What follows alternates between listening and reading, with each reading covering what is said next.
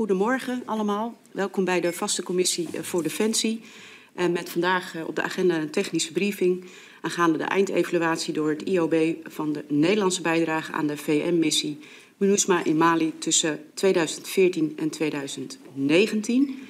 Ik heet onze gasten ook van harte welkom. Uiteraard ook de Kamerleden, de staf. Iedereen eigenlijk heet ik gewoon van harte welkom vanochtend. Um, het voorstel is om eerst te luisteren naar uh, een toelichting, een presentatie. Uh, en vervolgens kunnen de Kamerleden dan vragen stellen. En ik begrijp, uh, de heer Van de Knaap, dat ik u als eerste het woord mag geven. Ja, hartelijk dank. Van 2014 tot uh, 2019 heeft Nederland inderdaad met de inzet van mensen en materieel bijgedragen aan de multidimensionele geïntegreerde stabilisatiemissie in Mali van de Verenigde Naties, kortweg MINUSMA. Uh, dat was een reactie op een uh, gewapende opstand die bedreigend was voor het voortbestaan van de, van de Malinese staat. Uh, en IOB, wat de onafhankelijke evaluatiedirectie is van het ministerie van Buitenlandse Zaken, heeft op verzoek van de ministeries van Buitenlandse Zaken, Defensie en Justitie en Veiligheid de evaluatie uitgevoerd. En dat was naar aanleiding van de motie Bosma van uw Kamer om de evaluatie ook door een onafhankelijke partij uh, te laten doen. Uh, de evaluatie is uitgevoerd uh, door Johannes Klaas, mijn uh, collega hiernaast van de IOB.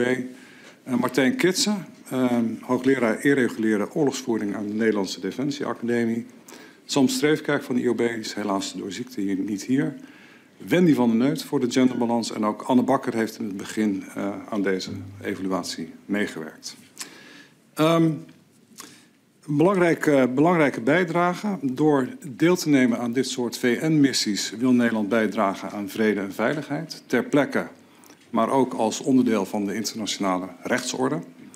En daarnaast geldt bij dit soort inzet ook de, uh, de rol van ons land als een actieve en betrouwbare verantwoordelijke internationale partner. IOB heeft de evaluatie uh, graag willen doen, omdat op basis van dit soort evaluaties belangrijke lessen kunnen worden getrokken voor toekomstige missies. En daarnaast draagt het uiteraard ook bij aan het uh, afleggen van verantwoording. Met permissie geef ik graag het woord aan mijn collega Johannes Klaas. Dank, de heer Klaas. Veel dank. Uh, veel dank voor de uitnodiging om het uh, rapport te komen voorstellen. Uh, ik zal achtereenvolgens ingaan op uh, onze bevindingen in zaken de militaire bijdrage, de politie, um, KMAR en civiele bijdrage. Uh, daarna enkele woorden over de geïntegreerde benadering en het narratief rond deze missie. Um, over de militaire bijdrage uh, stellen wij in ons rapport vast dat het hoofddoel, uh, het ondersteunen van de Verenigde Naties in een eerste fase van de missie en het vergroten van de effectiviteit van de vredesmissie MINUSMA, dat dat in beperkte mate bereikt is. De Nederlandse inlichtingenbijdrage heeft, heeft die besluitvorming van de missie slechts in beperkte mate ondersteund. En de inlichtingenketen is niet duurzaam versterkt. Um, er zijn enkele redenen aan te stippen hiertoe, die wij uitgebreid uiteenzetten in ons rapport. Ik, ik stip er hier drie kort aan. Um, de Nederlandse bijdrage die werd ingebracht volgens het zogenaamde attached model. Uh, dat, dat, wil zeggen dat er eigenlijk parallel aan de bestaande VN-structuren gewerkt werd um, door die militaire eenheden. En dat belemmerde eigenlijk de aansluiting bij die structuren. Uh, dat zorgde ervoor dat dat zij anders werden aangestuurd, dat zij hun eigen uh, commandovoering hadden en dat de interactie tussen de Nederlandse bijdrage en de VN-eenheden niet altijd vlot verliep.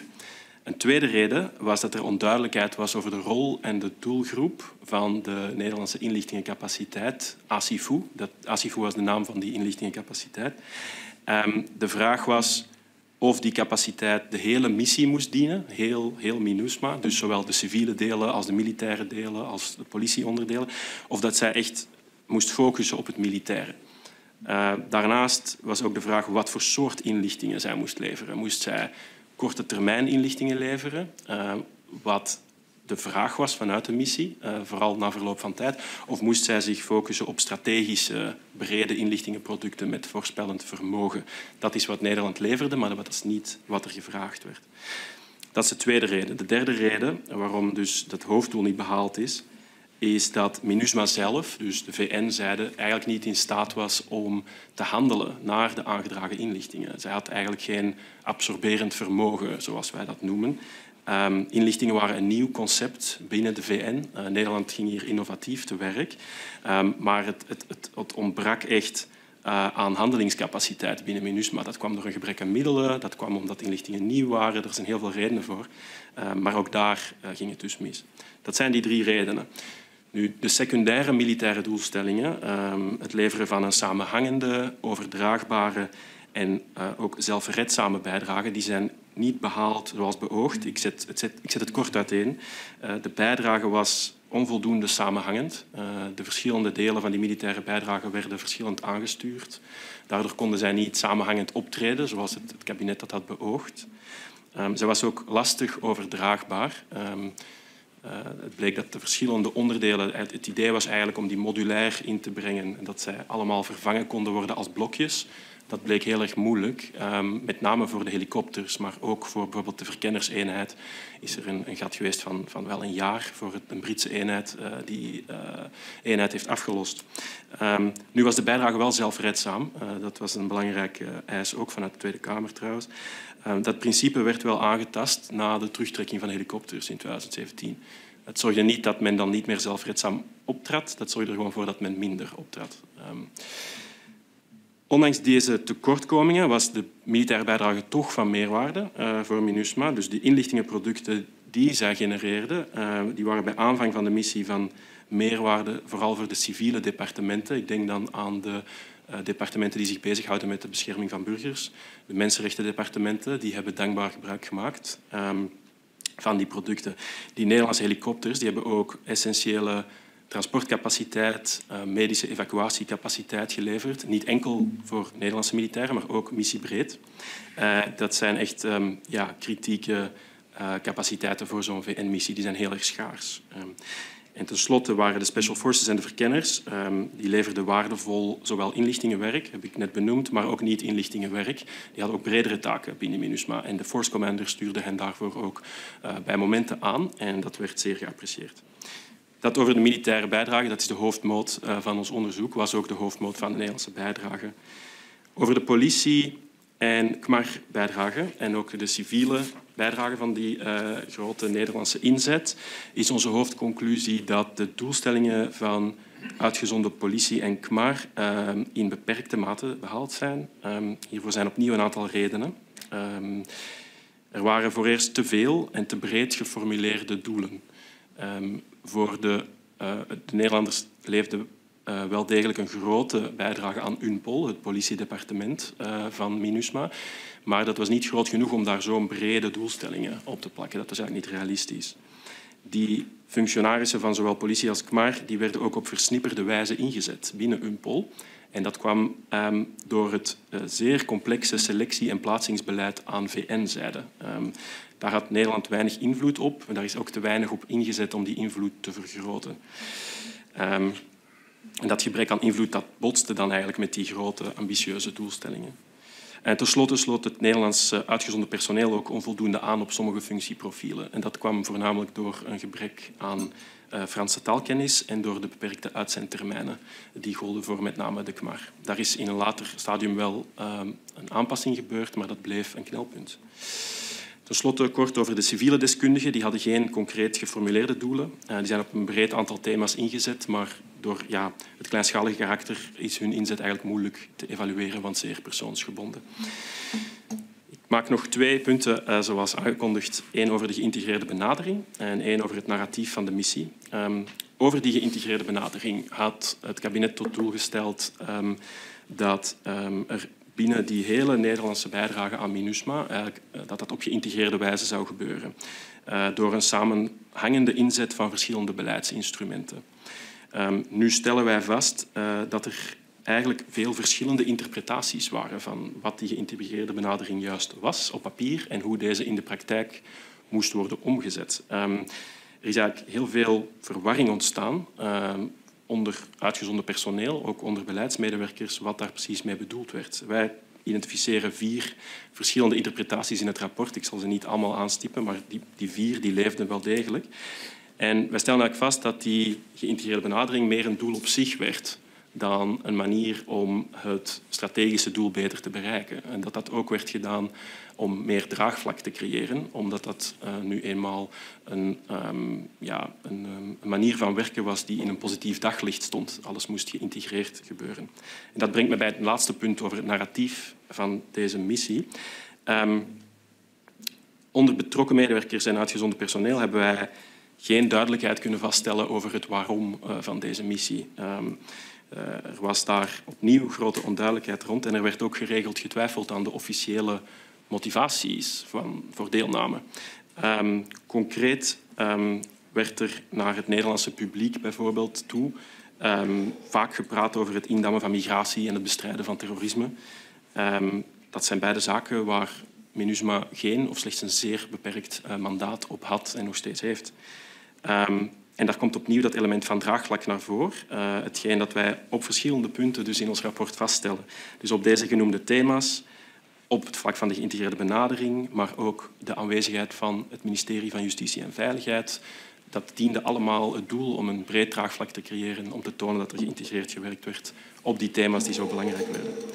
Um, daarnaast waren er ook positieve rapportages richting de Kamer en werden sommige van die moeilijkheden uh, die ik net schetste onder die militaire bijdrage slechts half of niet helemaal benoemd. Er leefde onder uitgezonden personeel uh, daarnaast, dus ik heb net naar het Nederlandse publiek toe, uh, onder uitgezonden personeel het narratief leefde het gevoel dat de inzet het gevolg was van het willen bemachtigen van een zitje in de VN-veiligheidsraad. Um, uh, dat leefde heel sterk. We hebben dat niet kunnen vaststellen dat het effectief zo was. Wel dat natuurlijk het leveren van een bijdrage de invloed van Nederland kan vergroten, maar dat daar een rechtstreekse relatie tussen zou zijn, hebben wij in ons rapport niet kunnen um, vaststellen. Uh, tot zover de hoofdbevindingen van uh, ons rapport. Veel dank.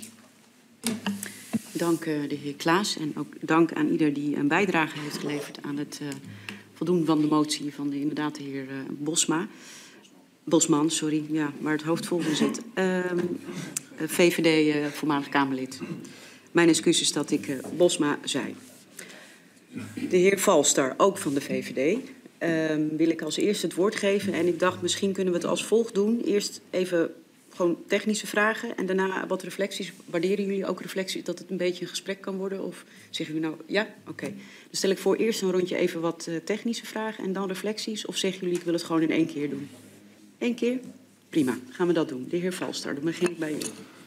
Dank uh, voor uh, deze presentatie en ook uh, het uitgebreide rapport. ik hoop dat wij hier als Tweede Kamer ook van leren in de toekomstige besluitvorming. Um, de eerste over de, het uiteindelijke militaire hoofddoel en de drie uh, ja, afgeleide doelen die daaruit voortkwamen en die net ook benoemd waren. het attach-model, de onduidelijkheid over het doel en um, um, ja, dat er geen absorberend vermogen was binnen de VN. Dat, dat rijst bij mij wel de vraag had Nederland hier in beginsel, um, voordat er aan de missie werd begonnen, dat überhaupt wel kunnen afdwingen. Dus kortom, bij wie ligt eigenlijk uh, in die zin het probleem? Is de VN hier het probleem geweest? Is Defensie het probleem geweest? Of zijn de beleidsmakers het probleem geweest? Um, hoewel ik eigenlijk misschien zelf bijna de vraag kan beantwoorden dat ze alle drie uh, waarschijnlijk een invloed hebben gehad. Maar toch, waar had Nederland op deze manier wel kunnen slagen, ook al hadden we het perfect uh, ingeregeld? Dank, eh, de heer Boswijk. Ja, dank u wel, voorzitter. En, en dank ook voor de toelichting. Um, ja, wat mij gewoon wel echt weer verbaast is, um, als ik hem even kort samenvat, is dat er te veel aandacht is geweest, in ieder geval vanuit de Kamer, naar het, het, het hoe en niet naar het waarom. En dat is eigenlijk dezelfde conclusie die we uh, vrij kort geleden ook op Afghanistan hebben geplakt. Um, ik ben wel benieuwd naar jullie reflectie daarop, want dan hebben we dus schijnbaar weer niks geleerd. Um, maar dan de vraag, uh, hoe wordt er door andere deelnemende landen teruggekeken op deze missie? Zijn daar de soortgelijke conclusies of hebben wij het echt heel anders gedaan? Uh, daar ben ik vooral even benieuwd naar. De heer Hammelburg. Ja, dank u wel, voorzitter. En uh, ook van mijn zijde veel dank uh, aan jullie die weer een, een, een, hele goede evaluatie hebben opgeleverd. En dat is niet de eerste keer. Uh, waar wij als Kamer echt goed gebruik van kunnen maken om ons politiek inzicht te versterken. Mag een keer gezegd worden. Ik zit ook een beetje uh, in de knoop met wat Nederland te bieden had en de aansluiting bij het bredere VN-raamwerk en het absorptievermogen, zoals de heer Valstor dat, uh, dat noemde. Laten we dat woord dan maar even vasthouden. Um, uh, van politieke kant, en dat is geen vraag, als wij niet. Uh, Nederland is niet het enige land dat levert aan VN-missies. Er zijn bijvoorbeeld heel veel Afrikaanse landen die dat ook doen. Dus voor de internationale rechtsorde en ons opereren in internationale gemeenschap is het van belang dat ook Nederland daar een eerlijke bijdrage aan levert. Um, uh, maar dat kan dus alleen op het moment dat wij ook zorgen dat het goed verloopt. Um, uh, en dat kan alleen als die VN-structuur ook is toegerekend op de manier waarop een uh, leger als Nederland of krijgsmacht Nederland opereert. En ik zie dat daar gewoon echt wel deels een disconnect was. Um, en mijn vraag is niet alleen hoe hebben andere landen dat ervaren die ook in die missie betrokken zijn geweest, maar hoe zijn zij feitelijk ook in dergelijke problemen geraakt in connectie met de VN-structuur? Um, waar zit die disconnect? Is het echt een Nederlands verhaal of zien we dat bij andere, bijvoorbeeld Europese uh, krijgsmachten ook? En dat kan, ja, u heeft natuurlijk alleen naar MINUSMA gekeken. Um, misschien heeft u ook toevallig wat breder gekeken naar andere missies om eens te kijken hoe is dat nou ergens anders, uh, elders ook gegaan. Dus misschien kunt u dat erbij betrekken, hoeft niet. Dank. En dan uh, geef ik het woord aan de heer Segers. Ook een beetje historisch geweten in, in dit geval, denk ik, want u zat toen al in de Kamer. Um, toch? Ja. Uh, maar geen woordvoerder destijds. Maar uh, dank, dank voor dit uh, onderzoek. En het is wel um, nou, zeer inzichtgevend. Um, Um, en dat geeft ons heel veel huiswerk. En ik heb eigenlijk drie, drie, drie korte vragen. Even feitelijk. U geeft aan op, op, op, dat op een zeker moment helikopters zijn, zijn, zijn teruggetrokken. Is ooit de veiligheidssituatie daardoor veranderd, verslechterd? Dat is mijn eerste vraag. Uh, twee, u geeft aan het narratief uh, van ja, waarom zitten we daar eigenlijk? Het werd betwijfeld. Nou, dat lijkt mij heel destructief voor de motivatie van de mensen die daar zitten. Uh, kunnen wij inderdaad zien dat, dat dat impact had op de motivatie van, van de manschappen daar?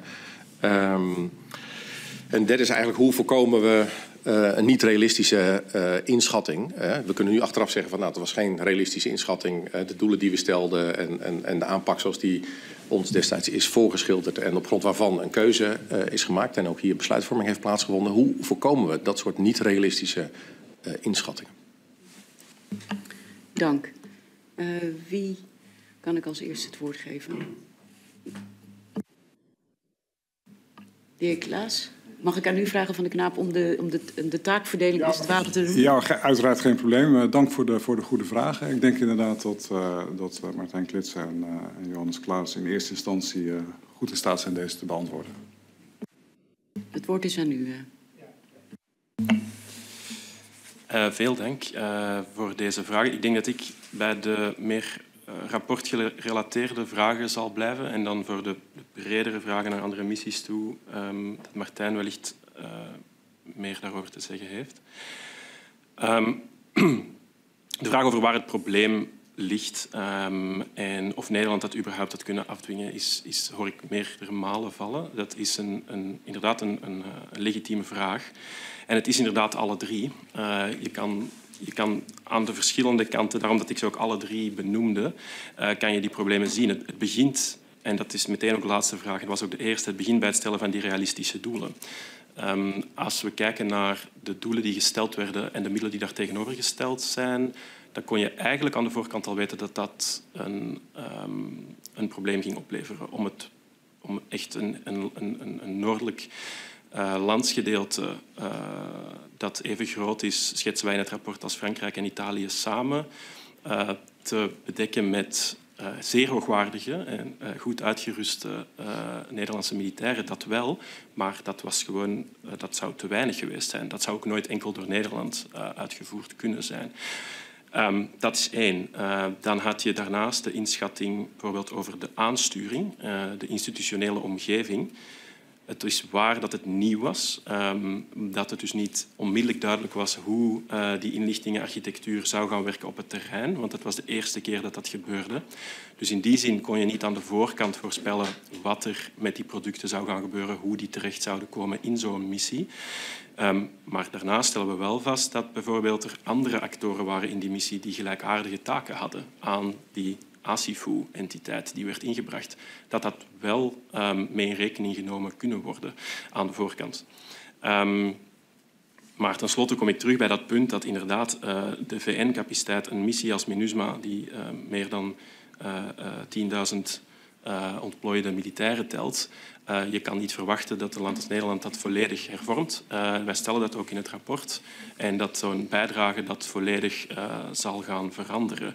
er zijn zaken zoals de aansturing van VN-bataljons in het veld, die informatie moesten verzamelen die dan bij die multinationale, moet ik trouwens zeggen, want Asifu was niet enkel een Nederlandse eenheid, um, die daar terechtkwamen, uh, ja, die informatie bleek niet van hoge kwaliteit.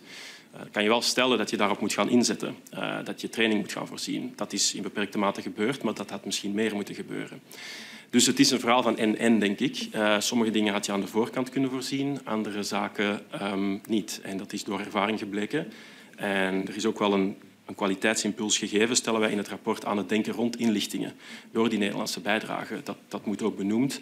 Um, dit was innovatief en dit was nieuw. Dus het heeft wel degelijk die impuls gegeven. En het denken daar rond is in bepaalde geledingen van de VN ook wel uh, veranderd daardoor. Je? Oh ja. Ja, ik zou daar graag uh, nog even op willen reageren, voorzitter. Um, allereerst even een, korte disclaimer. Ik zit hier nu als uh, onderzoekslid van het team van IOB, maar ik ben inderdaad ook hoogleraar op de Defensieacademie. En ik ben uh, ook oud-militair met ervaring in VN- en NAVO-missies. Dus in mijn antwoorden neem ik even al die drie identiteiten mee. dus het loopt een beetje door elkaar heen. Um, Even als eerste uh, de vraag van de heer Valstar, waarop hij zelf al het antwoord gaf. Uh, vond ik al mooi, want het antwoord is inderdaad het is complex. Het zijn drie verschillende uh, entiteiten, de VN, Nederlands beleid en Nederlands defensie, wat door elkaar loopt. Ik denk dat u inderdaad gelijk heeft. Het, het zit in alle drie een beetje. Maar ik denk wat beter kan, en dat is ook iets wat we, wat we in het rapport hebben gezet volgens mij, is dat er meer bewustzijn moet komen over VN-missies. Net zoals we eh, praten over bewustzijn over bijvoorbeeld Franse taalkennis. Het is ook belangrijk om te realiseren dat een VN-missie iets anders is dan een NATO-missie. En het is heel begrijpelijk. In 2014, Nederland komt net uit uh, is vier jaar afgerond. We hebben dan Kunduz gehad. We zitten helemaal in Afghanistan in die NAVO-mindset. En we gaan voor het eerst weer een VN-missie draaien. En het is met de beste bedoelingen. Het idee is echt onder de militairen ook. Wij gaan wat we hebben geleerd in Afghanistan, gaan wij ook voor de VN eh, laten zien en eh, omzetten in praktijk in, eh, in Mali. Alleen het sluit niet altijd even goed aan. Dus er had meer aandacht mogen zijn voor de manier waarop de VN dingen, dingen aanloopt.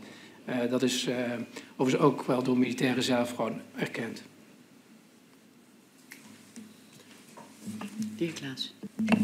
Uh, dank u wel, voorzitter. Ik ga misschien nog kort door um, op die kortere inhoudelijke vragen uh, die door de heer Segers werden gesteld.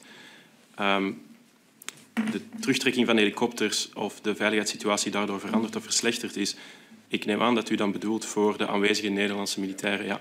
Uh, dat dus, daar, daar, gaf ik al een klein voorzetje aan, maar dat is dus um, niet, niet het geval. Het is niet zo dat doordat er geen helikoptersteun meer was, dat er dan uh, een hoger risico was. Het is eigenlijk zo dat dat eigenlijk gewoon de uh, operationele rijkwijde beperkte. Uh, want als er geen, de randvoorwaarden voor inzet waren zeer duidelijk, stellen wij ook, zijn gerespecteerd. Dus dat wil zeggen dat als er geen medische evacuatiecapaciteit voorhanden is, of niet genoeg escalatiedominantie heet dat dan, ja, dan kan er niet geopereerd worden. Dan wordt er niet ingezet en dan komt men, zoals wij dat dan in defensiejargon noemt, niet buiten de poort. Um, dat is natuurlijk ook geen effectieve inzet, want dan uh, kan je die operaties niet meer uitvoeren. En na die terugtrekking is er een tijd een uh, hiaat geweest waarin er geen helikopters voorhanden waren, waardoor er dus enkel in de omgeving van het kamp waar men gestationeerd was kon opereren. Uh, omdat er een uh, bepaalde zaken in zaken medische evacuatie binnen een bepaalde tijdsduur gerespecteerd moeten worden. Uh, daarna zijn die vervangen door andere toestellen, maar die waren dan weer minder performant dan de Nederlandse Chinooks. Uh, minder capaciteit, minder rijkwijde en dergelijke meer. Um, dus nee, het antwoord daarop is nee, maar wel gevolgen. De narratief, of dat of dat er getwijfeld werd of dat impact had op de motivatie, dat is natuurlijk moeilijk te evalueren wat daar exact de impact van is achteraf. Maar we stellen wel vast dat er geen gedeelde opvatting was over wat nu juist de reden was. En dat dat alleszins niet behulpzaam was voor het dragen van een gemeenschappelijk doel, waaraan iedereen... Er moest wel geïntegreerd worden opgetreden door al die geledingen heen die Nederland inzetten, maar er waren zoveel verschillende opvattingen over wat het uiteindelijke doel was, dat dat natuurlijk niet hielp om dat doel uh, te bereiken. Um, en hoe voorkomen we dat? Um, wel, dat is een beetje een open goal na het voorgaande natuurlijk duidelijke doelen stellen die realistisch zijn. Um, er mag gerust op politiek-strategisch niveau nagedacht worden. Uh, dat is niet het probleem, maar er moet dan de, die sphere of influence die je hebt en waar je met Nederland een invloed op hebt, daar moet je duidelijk afbakenen en zeggen dit kunnen we daarmee bereiken en misschien ook dit niet. En daarnaast heb ik al de punten gemaakt over materieel, uh, dat je natuurlijk uh, op vlak van het materieel dat je inzet tegenover de taak die je stelt, dat je daar ook realistisch in moet zijn. De heer Kitsen wil toevoegen. Ja, dank u voorzitter. Uh, inderdaad, uh, even op, uh, voorbedurend op wat, wat collega Klaas ook zegt en wat de heer Boswijk aanhaalt. we zijn inderdaad bezig met het, het hoe, maar het waarom van die missie. En dat narratief ook. wat doet dat met de motivatie inderdaad? Uh, kijk, het is inderdaad uh, in ons onderzoek, uh, het is niet aantoonbaar dat de, dat de motivatie minder wordt. Zo. Maar als je kijkt naar, er zijn bijvoorbeeld een tweetal boeken verschenen van militairen tijdens die missie, die kritisch zijn en die zijn toch terug te, brengen op dit punt. dat zijn, even kijken, van Peter Gordijn, een Apache-vlieger heeft een boek geschreven en nog een jurist van de marine. Daarin speelt dit punt een heel grote rol. Dus dat, dat is wel iets wat ik u wil meegeven. Verder is dit iets wat voor, typisch voor Nederland is, hè, als we het breder trekken. Wij zaten vorig jaar tijdens het veldonderzoek in, uh, in Gao. En daar spraken we met de Engelse commandant van de eenheid die daar de taken uh, doet die Nederland deed, hè, de Long Range Recce Patrol. Um, en die liep tegen hetzelfde aan. Dus het is niet iets typisch Nederlands. Het is iets, de heer Boswijk maakte al uh, het vergelijk met, uh, met Afghanistan. Het is iets wat we in de westerse wereld meer zien. Er zijn, de doctrines en de theorie die er is over militaire operaties gaan allemaal uit van een duidelijk politiek doel. We zien in werkelijkheid dat dat doel gewoon, gewoon diffuus is. En ik denk, ik zou u willen meegeven, uh, voor militairen bijvoorbeeld is het perfect aanvaardbaar dat zij in een operatie zitten om Nederlands belang te dienen en de lokale bevolking te helpen. Hè. Die twee gaan echt samen. Um, maar communiceer dat ook richting die militairen. Uh, dat, dat, voor militairen is het acceptabel als ze worden ingezet om Nederlands belang te dienen, maar dat willen ze ook graag horen. Dat is iets wat we wel ook tijdens interviews terug hebben gekregen. Dat wil ik nog even opmerken. Concludeer daarmee even voor nu dat volgens mij uh, de vragen zijn beantwoord. Ik kijk even naar de leden of iemand zegt er is een vraag die ik heb gesteld die niet beantwoord is. De Hammelburg. En dan doe ik uh, gewoon nog een tweede ronde. Ja, dank u wel. Ja, omdat ik uh, de laatste tijd ook door heel veel gesprekken een beetje aan het verdiepen ben hoe VN-missies in brede zin verlopen en hoe je daarin toch te maken hebt met verschillende soorten krijgsmachten met een verschillende soort inrichtingen. En dat zeg ik maar even heel diplomatiek en netjes. En, en, Nederland is daarin wel geavanceerd. Dat geldt voor de Britten natuurlijk ook, dat geldt voor de Duitsers ook.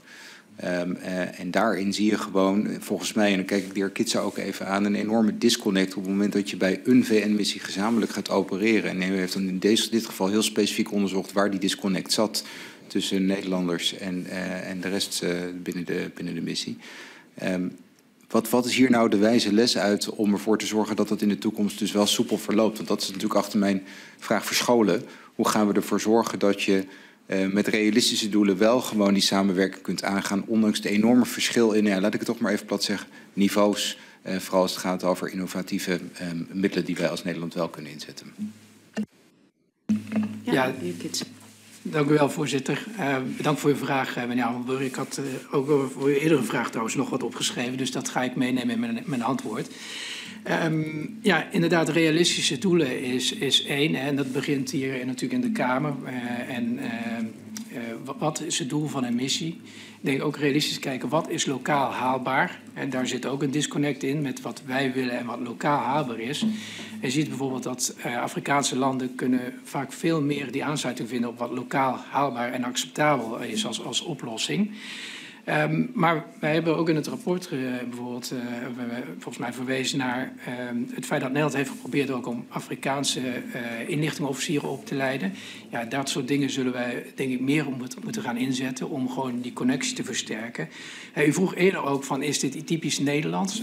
nee, hè, we zeggen echt in menus maar het verschil tussen de skiing nations zoals ze werden genoemd en, en de andere landen. En dat, dat uh, heb ik zelf ook een keer gezien in de VN-missie, maar uh, dat, is wel, dat zie je vaker terugkomen. En dat is natuurlijk iets wat, uh, wat eigenlijk doorbroken moet, moet worden. Dat doen we niet als Nederland alleen. Ik denk dat dat gewoon wel een groter probleem is voor VN-missies.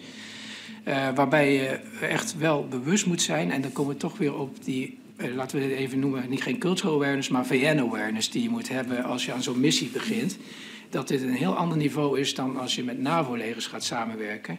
En dat je ook de missie daarop zult, zult moeten inrichten. Maar dus is geen typisch Nederlands probleem. Uh, sterker nog, we zagen dus nu in, uh, in Gao vorig jaar, uh, zag je het gewoon weer dat, dat eigenlijk het kamp, gewoon de westerse bijdrage is gewoon echt ook fysiek gescheiden van de bijdrage van andere landen. Um, dus is dat goed voor de eenheid in de missie? Nee. De heer Van de Knaap. Nou ik denk dat, dat de aansluiting op waar echt behoefte aan is, dat dat een hele belangrijke is. En vandaar ook de titel van ons rapport. Een missie in een missie.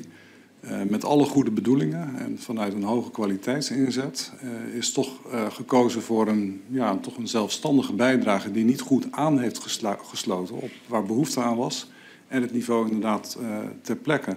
En daarom ook de aanbeveling, verdiep je voordat je uh, ja zegt en vormgeeft aan zo'n missie heel goed in waar behoefte aan is. Uh, wat er gedaan moet worden, met wie dat gedaan moet worden, welke randvoorwaarden daarvan uh, van belang zijn voordat je erin stapt. Dat is echt een, een wezenlijke. En daarnaast onderstreep ik graag het, het, het, het, punt van dat narratief.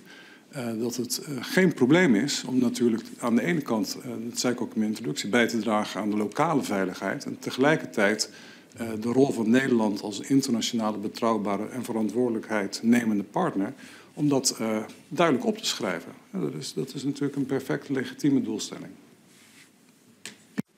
De heer Zegers.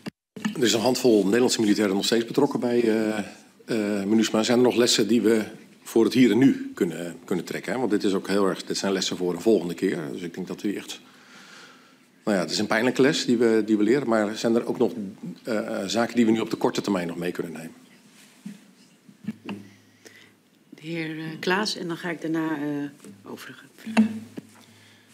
Um, ja, dat klopt. En dat is um, ook met de met het oog op het borgen van de VN-kennis een, een, een, goede zaak. Dat natuurlijk mensen actief blijven in een missie, omdat wij ook gemerkt hebben dat het niveau, um, of de kennis althans, over structuren en hoe zaken werken, en dat is vaak een, toch binnen zo'n missie ook een bijna politieke aangelegenheid, hoe die verschillende structuren met elkaar samenwerken en hoe dat komt en wat de achtergrond is van sommige van die departementen.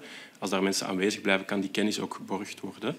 Um, sommige van de lessen zijn um, heel concreet en praktisch van aard, zoals inzetten op Franse taalkennis, op uh, uh, kennis van de culturele achtergrond waar er geopereerd wordt, um, zodat er op, meer sensitieve wijze ook geopereerd kan worden. Zeker als het gaat over inlichtingenwerk, wat toch een, gevoelig van aard is. Andere zijn breder en die, die vielen net ook al um, bij mijn collega's, namelijk het inzetten op die bredere VN-kennis, het, uh, het, het, het, het, levendig houdt. Dit was de eerste keer dat um, Nederland sinds lange tijd een zo'n wezenlijke bijdrage leverde aan een VN-missie. Um, en die kennis dient wel echt ja, zeg maar geborgd te worden als toekomstige inzet in VN-missies uh, beoogd wordt. dan, dan lijkt me dat essentieel. Ik, misschien nog heel even één punt over de vraag van de heer Hammelburg, want daar had ik ook nog over staan. Dat, um, ja, wat, wat, wat kan je daar dan wel mee? Het, het, leveren van die hoogwaardige capaciteit was op zich ook al wel een, een kwaliteitsimpuls aan de hele missie. Uh, dus als jij zo'n uh, schaarse capaciteiten levert als helikopters, dan kunnen die ook missiebreed worden ingezet door de militaire leiding. En dan kan er ook medische uh, evacuatie verzorgd worden voor niet-Nederlanders, voor bijvoorbeeld die Afrikaanse contingenten. dan kan er ook ja, afschrikkend worden opgetreden door die Apaches. Uh, gewoon hun aanwezigheid alleen al heeft daarop een invloed gehad. Um, dus dat, dat, is een mogelijkheid. Je, kan ook gewoon, je hoeft niet per se alles te veranderen. Er zijn al wel degelijk zaken die veranderen doordat je dat inzet. Um, concreter denk ik daar was bijvoorbeeld het feit dat Nederland bleef focussen op die strategische inlichtingen en niet veranderde en maar, begon te focussen op die tactische inlichtingen. Dat gaat dan echt over uh, kennis van waar liggen de improvised explosive devices en die de bestaande VN-eenheid die dat moest aanleveren, die leverde dat niet. De kwaliteit daarvan was ondermaats. Nederland had dat gat kunnen vullen, heeft dat niet afdoende gedaan. En dus daar waren mogelijkheden geweest om dat uh, tijdens de missie wel te doen. En daar zijn misschien wel een aantal kansen gemist. Uh, maar dat wil niet zeggen dat er, dat er door die inzet geen enkele aansluiting was. Uh, dat nog ter aanvulling. Ja. Ja, dank u voorzitter. Ja, even, en, als ik mijn collega's zo hoor praten, dan is even een citaat wat, uh, wat we veel hebben gehoord in interviews, wat ik u even wil meegeven, is van militairen. We hebben maar één VN. Dus laten we alsjeblieft daarop blijven inzetten en zorgen dat wij uh, die VN ook beter maken, maar met meer bewustzijn daarvan. Dus dat is iets, uh, er zijn ook natuurlijk cynici die zeggen dit moeten we niet meer doen, dit soort missies. Maar ik, we zien heel veel bij militairen terugkomen van nee, er zit echt wel vooruitgang in en we moeten hier zelf van leren en mee, mee doorgaan. Dus dat, uh, dat wilde ik nog even opmerken. En over realistische doelstellingen, dat is even breder iets. Um, dat brengt u natuurlijk in een lastig pakket. Uh, u, uh, u, debatteert hier met uw eigen achtergrond in de Kamer. Uh, er zijn lokale doelstellingen te bereiken. En ja, dat, dat, dat ligt bij u uiteindelijk om daar een, als Kamer ook met een narratief te komen. Daar, dus ik kan u alleen maar vragen om daar bewust van te zijn dat dit uiteindelijk ook impact gaat hebben op dat narratief. En in landen als Canada bijvoorbeeld uh, wordt dit vaak losgekoppeld van uh, gewoon uh, het politieke debat. Um, maar dat, dat hebben wij niet. De meeste landen doen dat ook niet. maar ja, ik hoop alleen dat u dit meeneemt gewoon als bewustzijn van dit heeft echt wel invloed op het narratief. Dank u wel. Ik mag me er niet mee bemoeien, dus dat ga ik ook niet doen. Uh, de heer Van der Knaap. En dan uh, geef ik het uh, woord aan de heer Vaster. De heer nou ja, ons, ons, rapport bevat 30 aanbevelingen. Ik denk voor de, de mensen die er nu zitten dat A, de context is, er zijn veel lessen geleerd, gelukkig. over, over taal, over uitzendtermijnen, ook over, over veiligheid. Ik denk dat de overdracht van wanneer moeten taken door anderen en op welke manier worden overgenomen, dat dat een, een van de 30 is die echt relevant blijft. De heer Valster. Ja, dank voorzitter. En misschien als ik een beetje in het hoofd van de voorzitter kijk... wilde zij misschien iets zeggen over het narratief... dat dat niet zozeer misschien door de Tweede Kamer volgens moest worden, maar... Nee, het ging meer over het verschil van kabinet en Kamer. Maar goed. Wij, wij denken hetzelfde, uh, denk ik. Nou, op dit punt. Op dit punt. Over het algemeen niet, maar op dit punt misschien een keer wel. Um, um, om door te gaan op uh, uh, dat narratief.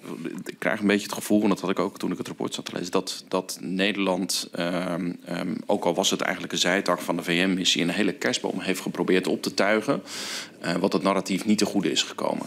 Uh, en een uh, van die voorbeelden uit het rapport, uh, dat gaat over de civiele experts. Daar, wordt het ook letterlijk hobbyhorses, uh, wordt het genoemd in het rapport. Dan wil ik één zin aanhalen. Buitenlandse Zaken bood zo in enkel geval onderscheidende kandidaten met succes aan, maar probeerde ook civiele experts te detacheren, die weliswaar pasten binnen de eigen prioriteiten, maar niet beschikten over de onderscheidende of unieke kennis en kwaliteiten ten opzichte van andere kandidaten. Deze aanbodgedreven manier van werken wekte vrevel op bij de VN.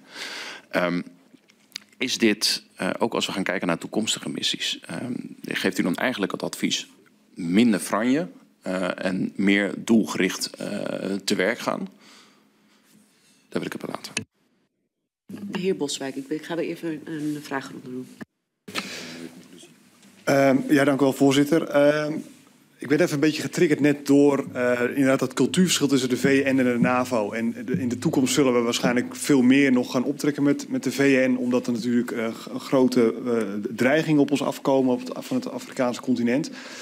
Um, binnen, de VN, binnen de NAVO worden er heel veel oefeningen gedaan. Hoe, hoe wordt dat eigenlijk gedaan binnen de VN? Gebeurt dat ook? Oefenen wij structureel met Afrikaanse landen of zouden we dat meer moeten gaan doen om meer uh, uitwisseling te hebben qua cultuur, communicatie, maar ook praktisch qua materieel. Ik ben even benieuwd, uh, misschien iets buiten het rapport, maar ik ben toch wel meer van qua oplossing. Uh.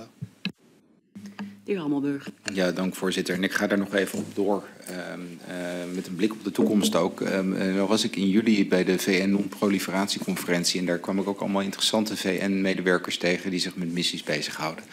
Um, uh, en daar wordt inderdaad gesproken, en de heer Boswijk refereert er eigenlijk ook aan, um, aan die totale verschillende Uh, niet alleen de verschillende capabilities, uh, die echt enorm uit elkaar liggen. En de heer Klaas en de heer Kits geven ook aan trainen van, van, van andere krijgsmachten. Zou daarin een soeluis kunnen bieden, maar dat is echt lange termijn, want dat kost heel veel tijd en capaciteit. Um, maar die cultuurverschillen tussen de NAVO en de VN um, zijn ook logischerwijs erin geslopen, want de NAVO is echt een, heeft een commandostructuur en is ontzettend uitgebouwd een militair um, um, uh, bondgenootschap. En dat heeft de VN natuurlijk minder. Wat is er nodig om in de toekomst realistisch en doelmatig te werk te kunnen gaan, zeg maar op de korte en de middellange termijn, niet op de verre lange termijn met trainingen wat ook, maar op de korte termijn, wat is er nodig in dit gesprek met de VN uh, om daarin ook binnen de VN die verandering teweeg te brengen. Want wij kunnen aanpassen en realistischer zijn over onze doelen. Maar dit kan ook alleen als je het in wederkerigheid doet. En, en daar zit mijn gebrek aan kennis gewoon nog een beetje. En daar ben ik heel erg nieuwsgierig naar. Dank u wel, de heer Segers. Kunt u toch eens even uh, ons ook nog een spiegel voorhouden als Tweede Kamer. Uh, ik heb vaak het gevoel bij, bij buitenlandse missies dat we ergens een, een, een, een fuik in zwemmen, dat we ergens een trechter in gaan. En nou ja, voordat je het weet zitten we in briefings en, en, en is er eigenlijk geen, geen, geen weg meer terug. Um, als je dan nu ziet dat het narratief eigenlijk niet klopt, dat er nou ja, heel veel op aan te merken is, ja, dan moeten wij dat onszelf ook, ook aantrekken. Wat zijn zeg maar. Hè, dus we, we, hebben dat allemaal verbeterd. We hebben uh, artikel 100 de procedure. We, proberen ons goed te laten informeren. Uh, ja, en toch is het heel moeilijk om onze eigen rol te pakken. Kun je, kun je daar toch nog eens onze spiegel voorhouden en ons uh, nou ja, nog wat handvaten geven? Hoe kunnen wij die rol beter pakken? En hierin ook echt ervoor zorgen dat we ook een, een, een gezonde tegen, tegenmacht zijn. Dank. Ik begin bij de heer Van der Knaap. Ja, ik zal de eerste en de, en de laatste vraag uh, voor, voor, voor, voor mijn rekening nemen, deels. En dan uh, de, de VN en de NAVO graag aan, uh, aan de experts overlaten. Um, ik denk dat bescheidenheid dat dat een hele belangrijke is. Wat vermag een missie? En draagvlak voor missies is natuurlijk uit, uitermate belangrijk. Want het heeft hoge kosten en risico's met zich mee. Ik hoef u niet te herinneren aan de tragische gebeurtenissen ook rond, rond dit soort missies. Uh, maar wat vermag je met een missie bereiken als het gaat om allerlei doelstellingen? En is het wel realistisch om dat te verwachten, is denk ik één. En twee, wellicht ook meer bescheidenheid in... Uh, ja, Nederland heeft een, een, hoogwaardige bijdrage willen leveren... maar was daar nou ook wel behoefte aan? Moeten we niet wat bescheidener zijn en meer luisteren concreet naar... oké, okay, waar is daar concreet behoefte aan? En dus dan de ambities ook, uh, ook, ook op aanpassen. De heer Hammelburg. Ja, kort feitelijk vraag je in dit, in dit, in dit argument. Want, want ik heb ook wel gehoord dat er heel veel Afrikaanse landen zijn... die eigenlijk een beetje pissig zijn op Europeanen... omdat wij hoogwaardig technisch leveren... maar zij zoveel meer mankracht sturen met zoveel meer risico. Uh, speelt dat mee in die afweging? De heer Van der Knaap. Ik heb geen reden om aan te nemen dat daar bewust dan door Nederland in gekozen is. Maar wellicht dat uh, mijn collega's daarop uh, op kunnen reflecteren. Want het, ja, dat verschil is er natuurlijk wel tussen, tussen troepen en, en hoogwaardige inlichtingencapaciteit. Dat de, ja. Ik, ik, ik versta goed wat u zegt, uh, Martijn, Johannes. Misschien is het goed om door te gaan met een bescheidenheid. Met, met het beginvraag en de laatste vraag en dan later even terug te komen. Is dat goed? Dus dan is het nog het woord aan u of als u... Ja. Nee, ik had mijn antwoord afgerond. Dus, uh... Ja, zo mag ik dan één verhelderen? Ja, Wat verstaat u dan onder die bescheidenheid? Dat Nederland meer bescheidenheid past? Nou, het voorbeeld wat we in het rapport geven, migratie. Op, op het punt dat je dat als, als, als doel ook aan de missie koppelt... terwijl je eigenlijk ziet dat dat ja, dan denk ik dat zo'n doel daar uh, met bescheidenheid uh, in dat debat moet worden aangebracht.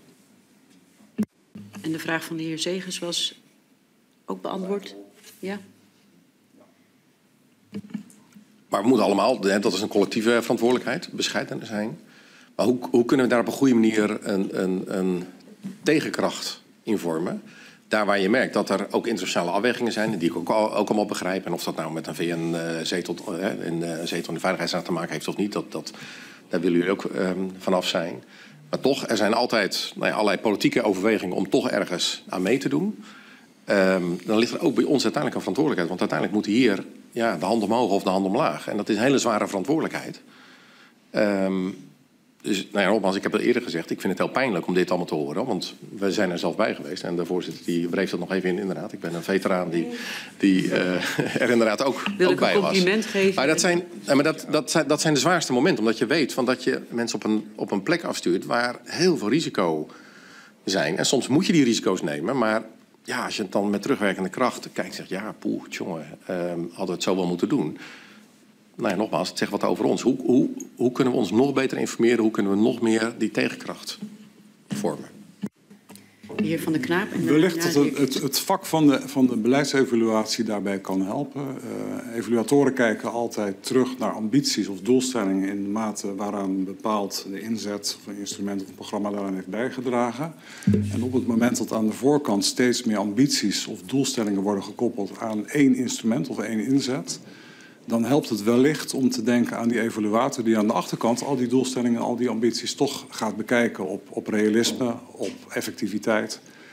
En uh, voor een evaluator is dat dankbaar werk. Uh, maar voor, een, uh, voor iemand die aan de voorkant zit, is het misschien goed om daar af en toe aan te denken dat dat dankbare werk niet altijd achteraf nodig zou hoeven zijn. Als ik het ik vond het diplomatiek mag verwoorden. Ik vind het al snel iets diplomatiek, omdat ik dat zelf niet zo ben. Maar uh, de heer Kitsen. Ja, uh, voorzitter, als eerste. Uh, ja, voor, ik zat hier in 2017 voor deze commissie. En dat ging toen over eventueel een nieuwe evaluatie. of toch een betere evaluatie van de Oerskan-missie. Als ik kijk, sindsdien is er gewoon veel gebeurd op evaluatiegebied. En ik denk, een antwoord op de vraag van de heer Segers. ik denk dat dat ja, ik vind dat een zeer positief punt, hè, dat uw commissie en u wil ook leren hiervan. Dus inderdaad, wat de heer Van der Knaap zegt, beleidsevaluatie, dat kan één van de tools zijn. Daarna zou ik uh, willen zeggen, dat is destijds in mijn proefschrift ook een van de conclusies geweest. Informeer u niet alleen over wat u daar wil bereiken, maar ook wat lokaal mogelijk is. Uh, het is vaak uh, heel moeilijke lokale problematiek waar we onze mensen naartoe sturen. Um, ik heb in het verleden zelf gewerkt en dan praten we echt, uh, dat is voor uw tijd, dat niet iedereen even goed op de hoogte is van wat er dan speelt in zo'n gebied. En ik denk dat dat wel, wel belangrijk is en moet, moet worden meegenomen. En daarnaast kan ik het niet laten, voorzitter, om nog even een opmerking over het narratief. Ja, ik, weet, ik weet dat het kabinet dat vaststelt, maar de Kamer heeft daar zeker ook een, een rol in of kan daar controleren.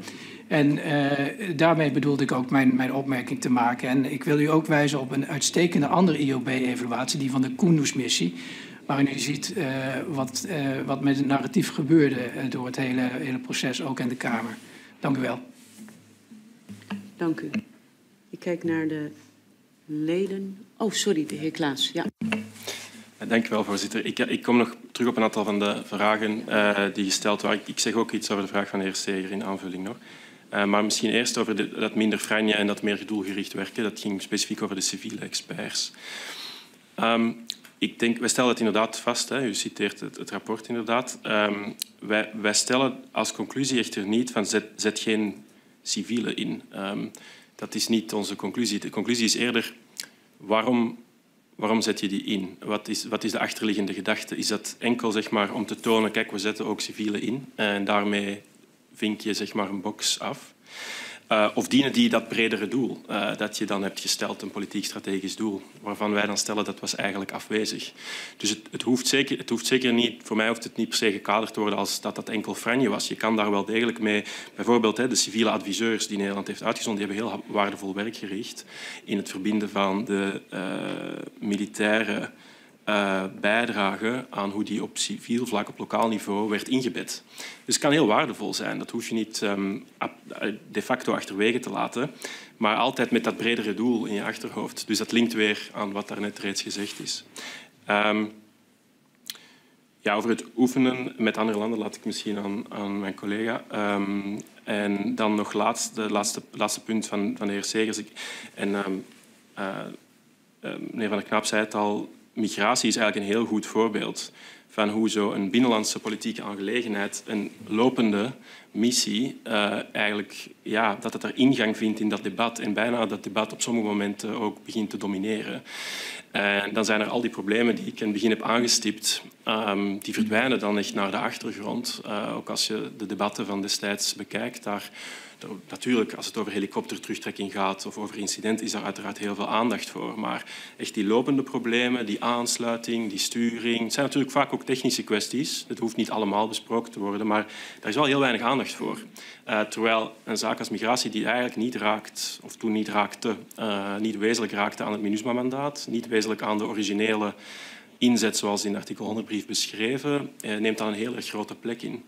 Uh, dus, maar natuurlijk is dat politieke aangelegenheid. Het speelt ook binnenlands. En dat draagvlak speelt ook altijd. Dus uh, dat is uh, ergens te begrijpen. Maar dat is voor het oplossen van die punten en het voorkomen van een technische briefing met toch een aantal punten van kritiek, is, het, is dat moeilijk als er zoveel aandacht naartoe gaat. Dank u wel. Dank u, de heer Kitsen. Ja, dank u, voorzitter. Even de, inderdaad de vragen van de heer Boswijk en de heer Hammelburg over de NAVO en, en de VN-context. Kijk, eh, de VN, het zijn allemaal ad hoc samengestelde troepenwachten natuurlijk. Dus het is heel moeilijk om daar, daar gewoon voor te trainen. Wat je wel kunt doen is zoveel mogelijk trainen met andere landen. Volgens mij is de land nog op dit moment ook in Senegal aan het oefenen. Um, ik weet dat onze, onze special forces oefenen ook regelmatig met de Afrikaanse partners. Um, dus er gebeurt al uh, iets op dat gebied, maar je zou misschien dat in de toekomst uh, nog meer kunnen gaan doen. Uh, maar we zitten natuurlijk op dit moment ook met een heel lastige situatie in Oost-Europa, waar we onze taak ook weer op orde moeten krijgen. Dus er zit, zit een zekere, natuurlijk, het is moeilijk om al die, de dagen van het Zwitserse zakmes zijn voorbij, zeg ik altijd. Verwijzen naar de krijgsmacht als die alles kan. Dus er moeten daar wel keuzes worden gemaakt. Maar ik denk dat het wel goed is om, om dit mee te nemen, om die interoperabiliteit, sorry, interoperabiliteit, ook met niet-NAVO-landen, om die scherp te houden en daarvan uh, van bewust te zijn. En uh, ja, ik ben het met u eens. Ik heb, uh, ik heb niet meer eigenlijk inzicht in de VN, ehm, hoe, hoe, daar, hoe het daar nu allemaal aan toe gaat.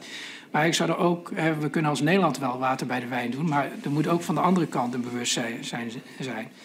En uh, ik denk dat dat wel een pad is wat wellicht ook verkend kan worden.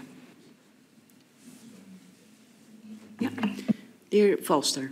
Ja, sorry, nog één afsluitende vraag. Um, waar ik bang voor ben, is dat we over tien of twintig jaar... Ik, ik, nou, eh, misschien zit ik er nog als Kamerlid uh, en ook, dan ook nog op deze portefeuille... maar uh, over twintig jaar ik, uh, we kunnen het allicht hopen. Nee, maar het, het punt is, uh, wij, zijn, wij zijn nu met z'n vieren, vijven hier bij deze technische briefing.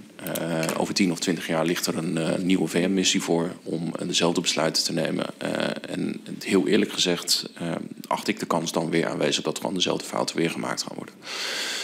Hoe kun je hier aan de voorkant, ik wil niet gelijk aan toetsen of iets dergelijks denken, maar hoe kun je dit nou aan de voorkant bij uh, BZ, bij Defensie, uh, in gaan regelen dat zij uh, hier ook een zelfkritisch vermogen hebben? al is het ergens op papier vastgelegd dat zij niet diezelfde fouten gaan maken.